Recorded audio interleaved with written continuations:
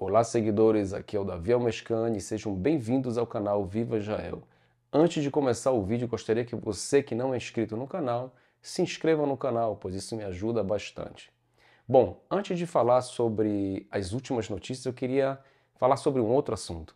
Me mandaram uma mensagem nos últimos dias, uma pergunta que na verdade parecia mais como uma acusação. A pessoa me descreveu o seguinte: Davi, como é que você sabia que os confrontos iriam começar? Eu assisti um vídeo seu há um mês atrás e você falava que em breve iriam começar novos confrontos e talvez teriam mísseis atirados e disparados ali de Gaza. Como é que você sabia disso? Será que vocês já não sabiam realmente que isso iria acontecer?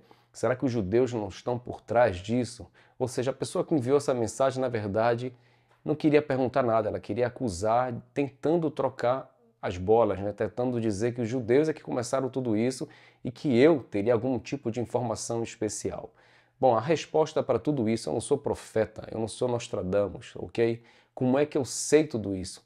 Para quem trabalha na área de segurança, eu acho que aqui tem muita gente que me segue que faz parte da polícia do Brasil, de Portugal, até mesmo da Inglaterra, tem gente aí, entende do que eu estou falando. Quando a coisa começa a mudar ao teu redor, você sente isso você sente que alguma coisa está prestes a acontecer. As pessoas que você prende no dia a dia, você percebe que ali tem algo a mais. Você consegue perceber isso na pele, você consegue sentir isso no ar. Não tenho como te explicar, é, uma, é simplesmente uma sensibilidade ao que acontece em volta de você. Não tenho nenhum tipo de informação privilegiada, eu simplesmente vivo isso. Tudo que eu trago aqui para vocês é a minha opinião. Eu não copio nada de jornais, eu não busco informações em outras fontes para poder duplicar isso para vocês. Eu trago isso da onde vem a notícia, do local onde ela acontece, as minhas experiências e o meu ponto de vista. Então, dentro disso tudo, eu trago e digo quando eu acho que alguma coisa vai piorar, quando eu acho que alguma coisa vai acontecer, ou fique atentos porque talvez aconteça.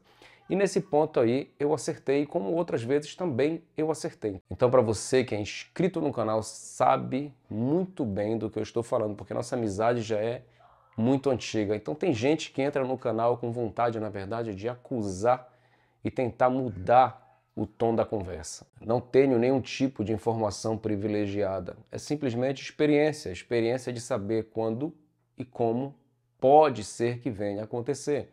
A gente vê o roteiro todo se, se construindo na nossa frente e eu trago essa informação aí para vocês o máximo que eu posso. Tudo que eu posso falar, nem tudo eu posso falar. Na verdade, quem está em casa acha que Jerusalém passa o ano inteiro ali tranquila e quando estoura esse tipo de confronto é só ali, é só naquele momento que aconteceu. Não.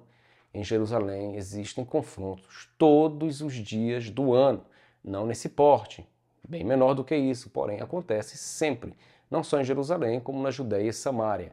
E isso não vai aparecer nem nos jornais de Israel, nem na mídia escrita, em lugar nenhum você vai ler sobre isso.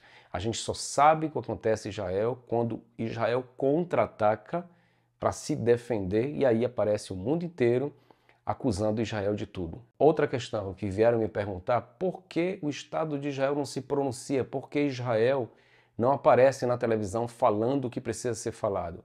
Isso existe, acontece, existe em inglês, existe em português, aqui estou eu, tem o Rafael Guanabara e tem outras pessoas fazendo esse tipo de serviço também, que diga-se de passagem é um serviço voluntário, a gente não recebe absolutamente nada do Estado de Israel para fazer esse tipo de coisa, a gente simplesmente faz isso por vontade de fazer. E não venha me dizer que a gente ganha milhões com o YouTube, que não é verdade. Tem gente realmente que ganha milhões no YouTube. Mas esse caso não é o meu, porque a gente tem as quantidades de visualizações aí bem baixas. E por que Israel não faz divulgação e explicação do que está acontecendo? Eu também concordo, Israel não faz o suficiente, deveria fazer muito mais. Mas vamos botar aqui, comparar a situação. Existem no mundo mais ou menos aí 1.8, 1.9 bilhões de muçulmanos. Isso aí é quase 25% ou mais da população mundial contra 13 ou 14 milhões de judeus. Então, não tem como lutar nessa guerra das redes sociais aí, tentar vencer o outro lado. É praticamente impossível. Eles são a maioria nas redes sociais, eles são a maioria nos meios de comunicação e ainda tem a esquerda aí que apoia o lado deles. Então você provavelmente irá se deparar com uma propaganda pró-Palestina e não pró-Israel. Como esse vídeo aqui não deve ir muito longe, como a gente já sabe, porque tem milhões e milhões de bloqueios, e eu canso de pedir, compartilhem, compartilhem, compartilhem, até se cansar, até o teu amigo falar, para de me mandar que eu já não aguento mais. Infelizmente, esse é o único meio que a gente tem para chegar mais longe. Mas eles estão em todas as redes sociais, em todos os locais. Eles são muita gente, então é uma guerra bem difícil de ser combatida nas redes sociais. Então, por isso, você sempre vê o lado deles. Quando você vê uma imagem do policial prendendo, quem, quem gravou aquela imagem foi provavelmente um palestino. Foi provavelmente uma equipe de televisão que estava ali para filmar o soldado e não o manifestante, não terrorista, entendeu?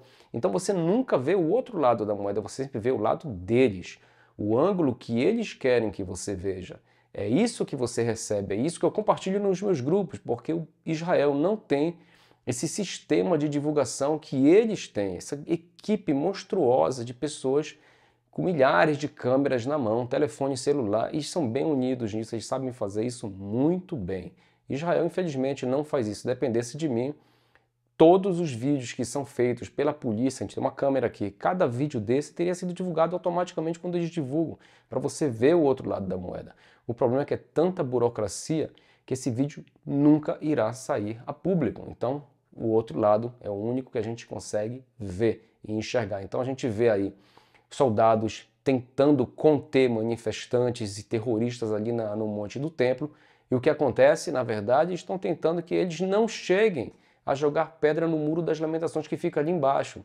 E aí eles colocam isso no, na mídia mundial como se fosse Israel tentando não deixar eles entrarem na mesquita, que é uma pura de uma mentira. Mas vai provar isso aí em frente a milhões e milhões de imagens mostrando somente um lado. Você não vê a imagem da pedra sendo jogada no Muro das Lamentações. A gente não vê esse tipo de coisa. E provavelmente também não vai ver, porque as imagens nunca foram divulgadas. As imagens nunca são divulgadas como deveriam ser. Se dependesse de mim, divulgaria todas elas. Mas infelizmente Israel não divulga. Sei, não sei dizer o motivo, talvez por falta de pessoal especializado no assunto. Então aquilo que está acontecendo no monte do templo é eles que começaram. Se, se a polícia não tivesse ali, eles iriam jogar coquetel molotov, pedras e talvez até mesmo atirar em quem está rezando no Muro das Lamentações, porque eles são assim.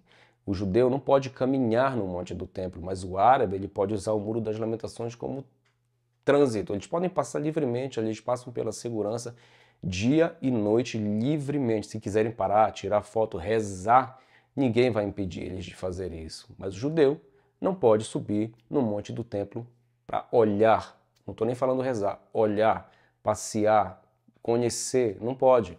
O cristão também não pode. Toda entrada que tem lá no Monte do Templo é controlada para exatamente que horário o muçulmano permite que o cristão possa entrar e o horário que ele não pode entrar. Então, quem já foi lá sabe que tem uma entrada separada que não, você não entra exatamente pela entrada dos muçulmanos, você, você entra pela uma entrada do lado do Muro das Lamentações especializada para turistas, porque eles não querem que vocês vão lá, eles não querem que você passeie por lá. Essa é a realidade. Vou dar aqui um exemplo bem rápido. Durante esse, esses dias de conflito aí, jogaram um coquetel molotov. O coquetel molotov não passou por uma janela ali do templo e explodiu dentro e pegou fogo um tapete, carpete, tapete ali dentro do, da mesquita. Eles emitiram imediatamente dizendo que os judeus estavam botando fogo na mesquita. Só que dessa vez a polícia foi mais rápida e emitiu todo o vídeo que eles tinham em mãos, que na verdade foi um árabe, um terrorista palestino que estava dentro da mesquita, que jogou o coquetel Molotov, que não conseguiu passar pela janela e aí pegou fogo dentro da mesquita. Se todas as vezes a gente fizesse dessa forma, talvez o mundo estivesse olhando para a gente de uma forma diferente. Você imagina agora um outro muçulmano que não é terrorista, mas se encontra em outro lugar do mundo e vê essa mentira dia a dia, dia a dia, uma mentira contada várias vezes se torna verdade. Ele acaba acreditando que nós somos os maus. É isso que eles querem. Não estou falando que todos os bilhões de, de muçulmanos são terroristas. Não falei isso. Mas eles são enganados pela mídia tendenciosa árabe, a mídia tendenciosa da esquerda também, que apoia eles que gostam de ver o sangue rolar. Agora, voltando ao assunto principal, ontem, como eu falei, outros disparam de mísseis da faixa de Gaza. O Hamas pediu a todos os muçulmanos para irem amanhã para a mesquita de El-Aqsa confrontarem a polícia de Israel. Eles pediram, e todos os outros grupos terroristas também pediram a mesma coisa, para que tenha mais e mais conflitos. Eles estão lá em Gaza procurando acender o fogo em Jerusalém. Por enquanto, Gaza continua, digamos assim, tranquila, ok? Tranquila, não está como estava no ano passado, mas já tivemos aí disparos de mísseis e foguetes de Gaza para Israel. Claro que nem todos caíram dentro de Israel, então não foram divulgados. Alguns caíram dentro da faixa de Gaza. Mas a gente tem um agravante em todo esse percurso aí de conflitos dos últimos dias.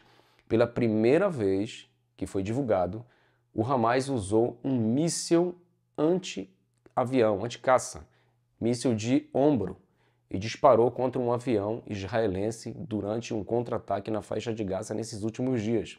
Isso é um agravante nos conflitos, quer dizer que eles têm armas que talvez o exército aqui achasse que não tivessem. Não acertaram o avião, porém, isso é um risco muito grande, um agravante muito grande. Não sei por que Israel não entra e tira esses caras do poder da faixa de Gaza. Isso eu não vou entender nunca, apesar de fazer parte das forças de segurança, isso eu nunca vou entender, porque a única solução desse problema é eliminar os grupos radicais que existem na faixa de Gaza e que existem na Judéia e Samaria de, de uma vez por todas pegar todos eles e neutralizar tudo e começar tudo do zero. Talvez aí podemos ter uma vida melhor em Israel. Por hoje é só, meus amigos. Esse foi um vídeo mais de esclarecimento e algumas notícias importantes aí no final do vídeo eu falei para vocês. Espero que tenham gostado do vídeo. Para quem me acompanha lá no grupo, o link vai estar aqui embaixo. Um abraço a todos e um bom final de semana.